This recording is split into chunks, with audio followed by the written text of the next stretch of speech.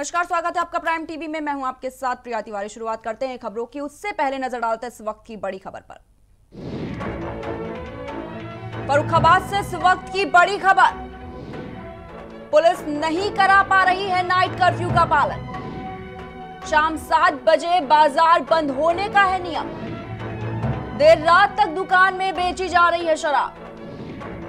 शराब बेचते video social media पर वायरल हुआ है। तो लगातार आपको बड़ी खबर बता रहे हैं, पुलिस के सामने धड़ल्ले से शराब की बिक्री की जा रही है। वहीं ये पूरा मामला मऊ दरवाज़ा थाना क्षेत्र के रकाबगंज का है।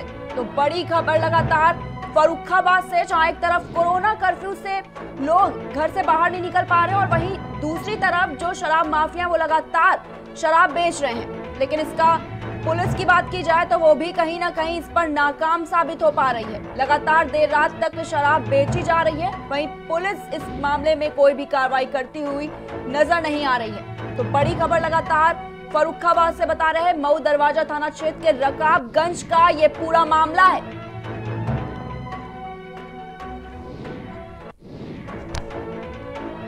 तो इस वक्त की बड़ी खबर लखनऊ से। पॉलिटेक्निक चौराहे पर बदमाशों से मुठभेड़।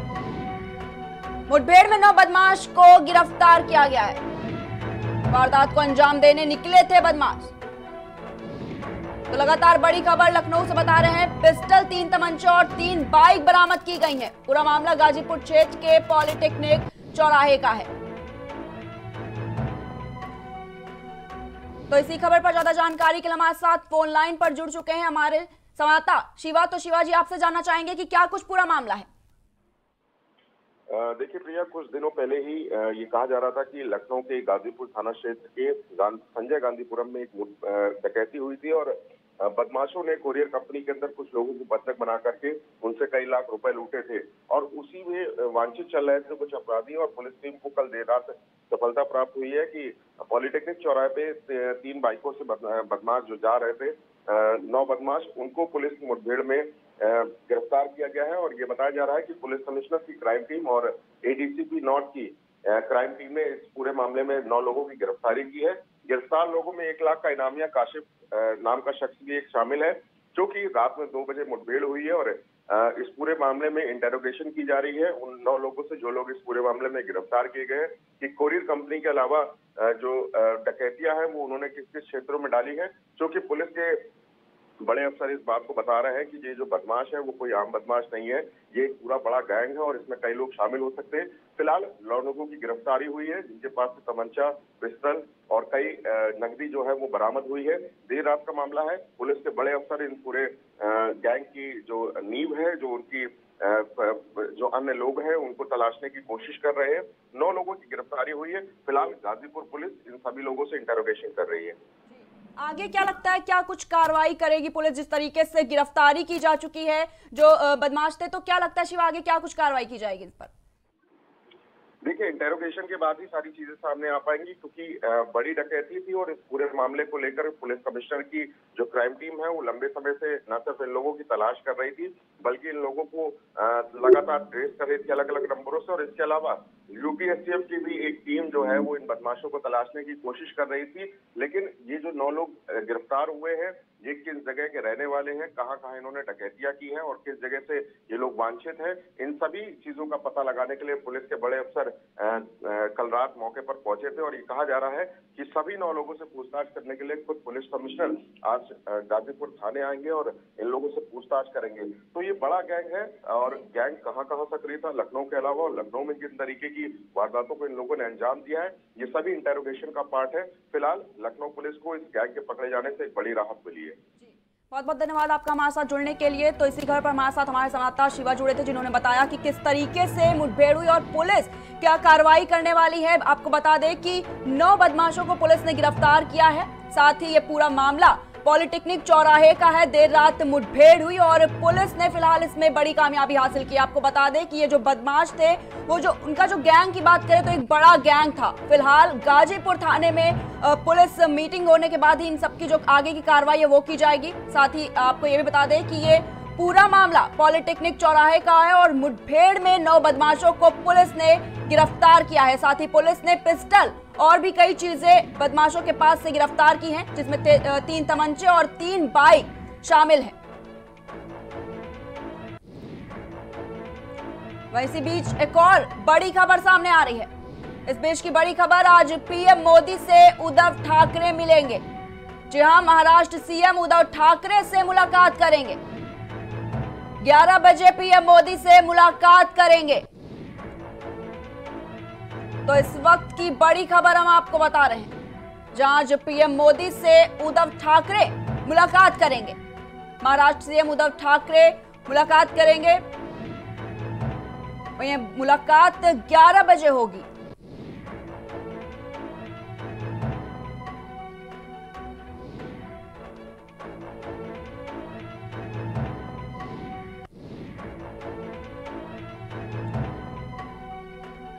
इस वक्त की बड़ी खबर, यूपी बीजेपी अध्यक्ष स्वतंत्र देव सिंह का दौरा। सहारनपुर बागपत शामली के दौरे पर रहेंगे स्वतंत्र देव सिंह। बीजेपी कार्यालय पर पदाधिकारियों के साथ बैठक करेंगे। दिवंगत भाजपा नेताओं के घर जाएँगे स्वतंत्र देव से दिवंगत विजय कश्यप के घर जाएँगे स्वतंत्र देव। तो लगातार आपको हम इस वक्त की बड़ी खबर बता रहे हैं, जहाँ पर यूपी बीजेपी अध्यक्ष स्वतंत्र देव सिंह का दौरा है। आपको बता दें कि सहारनपुर बागपत शामली के दौरे पर रहेंगे स्वतंत्र देव सिंह। वहीं बीजेपी कार्यालय पर पदाधिकारियों के साथ भी बैठक करेंगे। वहीं दिवंगत भाजपा नेताओं के घर भी जाएँगे स्वतंत्र देव सिंह तो लगातार इस वक्त की बड़ी खबर हम आपको बता रहे हैं। जहाँ यूपी बीजेपी अध्यक्ष स्वतंत्र देव सिंह लगातार दौरे पर हैं, सहारनपुर बागपत शामली का दौरा करेंगे स्वतंत्र देव सिंह, जहाँ पर बीजेपी कार्यालय पर पदाधिकारियों के साथ वो बैठक करेंगे। दिवंगत विजय कश्यप के घर जाएँगे स्वतंत्र देव सिंह।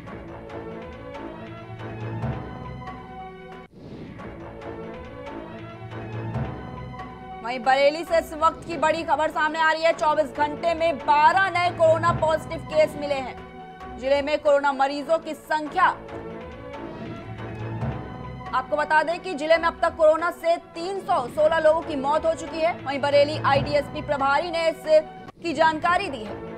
तो लगातार इस वक्त की बड़ी खबर बरेली से है, जहाँ 24 घंटे के अंदर कोरोना के 12 नए पॉजिटिव केसेस सामने आए हैं। तिरालीस हज़ार सात सौ इक्यानबे कोरोना मरीज़ मिले हैं। वहीं ज़िले में अब तक कोरोना से 316 लोगों की मौत हो चुकी है।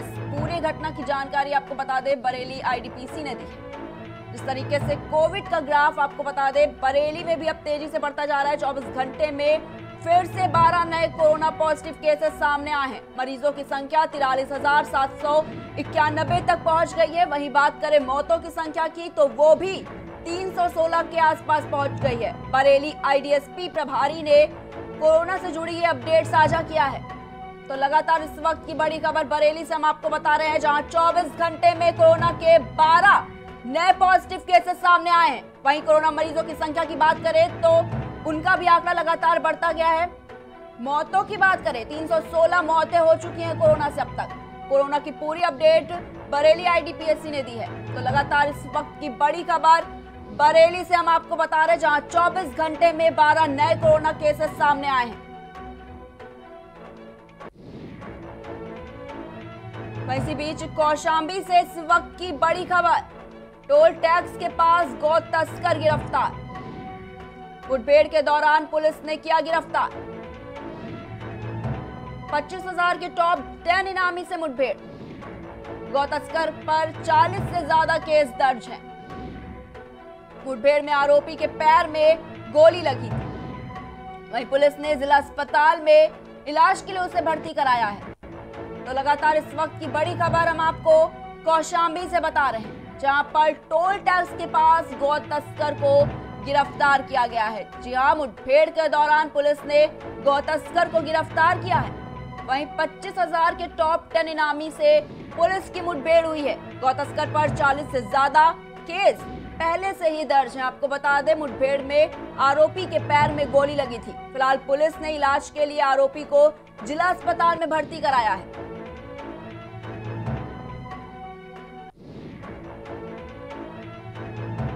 वहीं बड़ी खबर, लखनऊ से है। जहाँ लखनऊ विकास प्राधिकरण की बोर्ड बैठक आज है। जी हाँ बोर्ड बैठक में कई महत्वपूर्ण प्रस्ताव रखे जाएँगे। सपा सरकार के फैसले को बदलेगा एलडीए। तो लखनऊ से इस वक्त की बड़ी खबर है, लखनऊ विकास प्राधिकरण की बोर्ड बैठक आज होगी। आपको बता दें कि इस बोर्ड बैठक में कई महत्वपूर्ण प्रस्ताव लिए जा सकते हैं। सपा सरकार के फैसले को एलडीए बदलेगा। तो लखनऊ से बड़ी खबर सामने आ रही है, जहाँ पर लखनऊ विकास प्राधिकरण की आज बोर्ड बैठक होने वाली है और ऐसा कहा जा रहा है कि इस बोर्ड बैठक में कई महत्वपूर्ण प्रस्ताव रखे जाएँगे और एलडीए जो है वो सपा सरकार के कई फैसलों को बदलेगा। लखनऊ विकास प्राधिकरण आज बोर्ड बैठक करने वाला है। आपको बता दें कि इस बोर्ड बैठक में कई अहम महत्वपूर्ण प्रस्ताव जो है वो रखे जाएँगे और ऐसा माना जा रहा है कि जो एलडीए है वो सपा सरकार के कई फैसलों को बदलेगा। फ़िलहाल बोर्ड बैठक के बाद ये साफ़ हो जाएगा कि किन फैसलों को बदले जाएँगे और कौन से जो अहम फैसले हैं वो रखे जाएँगे? क्योंकि कई सारे ऐसे प्रस्ताव हैं जिनको रखने की उम्मीद की जा रही है और साथ ही एलडीए जो है वो सर, सपा सरकार के कई फैसलों को बदलने की बात कह रहा है। तो देखने वाली बात है कि किस बोर्ड बैठक जो होने वाली है, उसमें किस तरह के जो फैसले हैं वो लिए जा सकते हैं, कौन से महत्वपूर्ण प्रस्ताव रखे जा सकते हैं और एलडीए जो है वो सपा सरकार के जो फैसले हैं वो किन फैसलों को बदलेगा? तो लखनऊ से हम आपको लगातार इस वक्त की बड़ी खबर बता रहे हैं, जहाँ लखनऊ विकास प्राधिकरण की आज बोर्ड बैठक होगी। और इस बोर्ड बैठक के दौरान कई महत्वपूर्ण प्रस्ताव भी रखे जाएँगे। और साथ में आपको बता दें कि एलडीए, सपा सरकार के कई फैसलों को बदलेगा।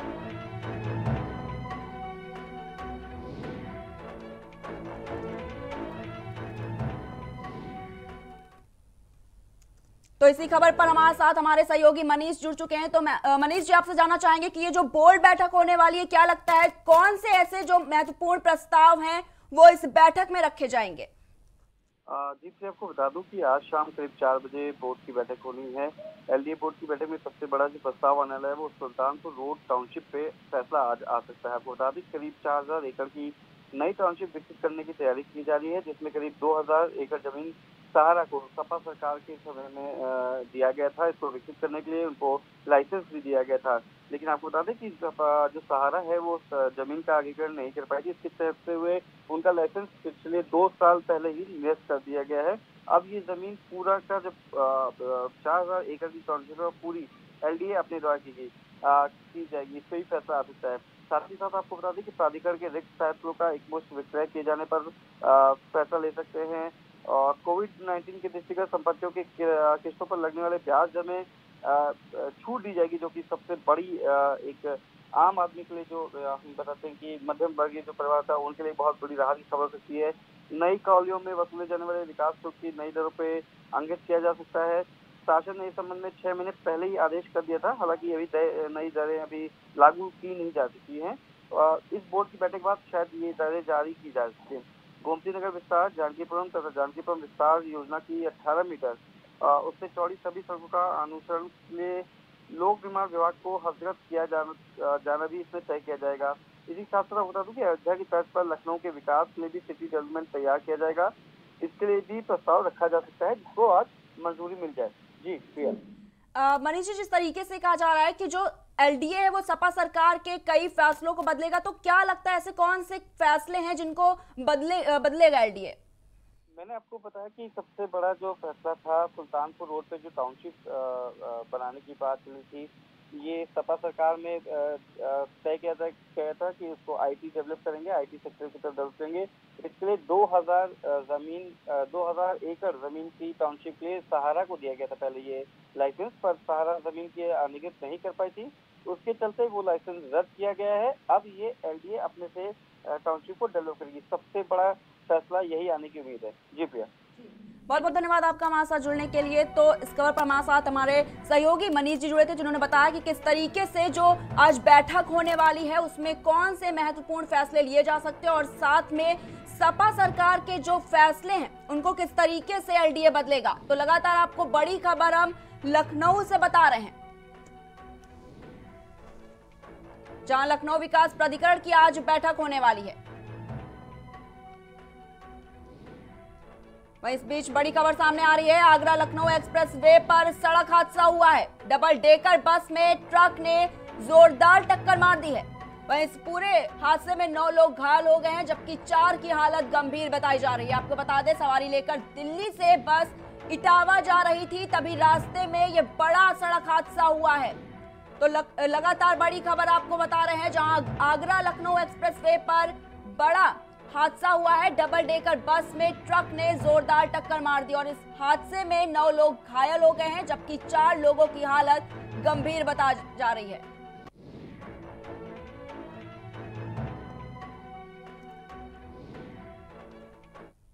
तो इसी खबर पर ज़्यादा जानकारी के लिए हमारे साथ फ़ोन लाइन पर जुड़ चुके हैं। हमारे संवाददाता शिवा। तो शिवा जी क्या कुछ पूरा मामला है?